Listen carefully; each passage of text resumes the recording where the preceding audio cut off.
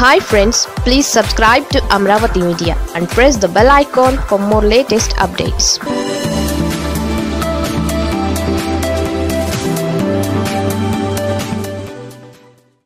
ఫలించిన జగన్ కృషి ఏపీకి కేంద్రం నుంచి మరో వరం. ముఖ్యమంత్రి వైఎస్ జగన్మోహన్ రెడ్డి కేంద్ర ప్రభుత్వం వద్ద తనకున్న పట్టును మరోసారి నిరూపించుకున్నారు. కేంద్రంతో సఖ్యతగా ఉంటూ రాష్ట్రానికి రావాల్సిన నిధులను మంజూరు చేయించుకుంటున్నారు. చంద్రబాబు ప్రభుత్వం తరహాలో కేంద్రంతో ఎలాంటి ఘర్షణ వైఖరికి వెళ్ళట్లేదు. కేంద్రంలో అధికారంలో ఉన్న ఎన్డీఏ సంకీర్ణి కూటమికి సంపూర్ణ మద్దతు ఉన్న నేపథ్యంలో రాష్ట్ర ప్రయోజనాల కోసం లౌకికంగా వ్యవహరిస్తున్నారు. రాష్ట్రానికి వరప్రదాయనిగా చెప్పుకుంటున్న పోలవరం ప్రాజెక్టు కోసం కేంద్రం నుంచి నిధులను సమీకరించే ప్రయత్నంలో ఉన్నారాయన.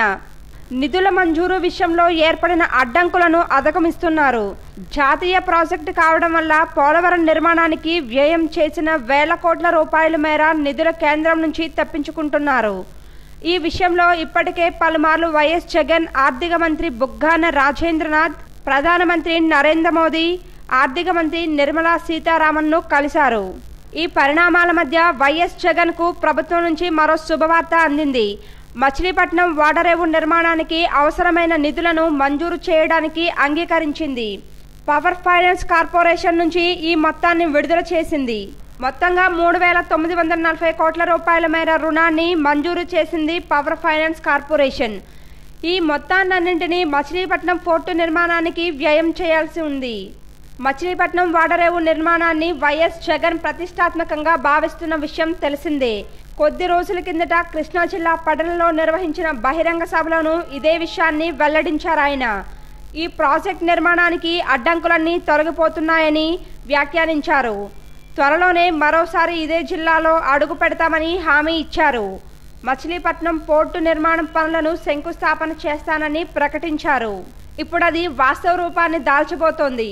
పవర్ ఫైనాన్స్ కార్పొరేషన్ నుంచి రుణం మంజూరైన నేపథ్యంలో ఇక జగన్ ప్రభుత్వం ఏమాత్రం జాప్యం చేయదలుచుకోనట్లే.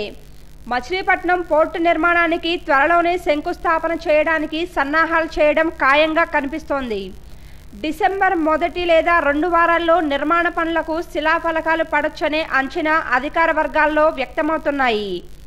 హైకోర్టు సైతం ఈ పోర్టు నిర్మాణానికి అనుమతి ఇచ్చింది పోర్టు నిర్మాణానికి అవసరమైన రోడ్డు కనెక్టివిటీని కల్పించే దిశగా రోడ్లు భవనాలు మంత్రిత్వ శాఖ అధికారులు అప్పుడే ప్రతిపాదనలు సైతం సిద్ధం చేస్తున్నట్లు తెలుస్తోంది.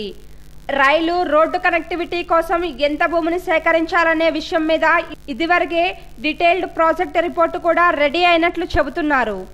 ఎంత మేర భూమిని సమీకరించాల్సి ఉంటుందనే విషయం మీద జిల్లా అధికారులు కసరత్తు చేపట్టారు.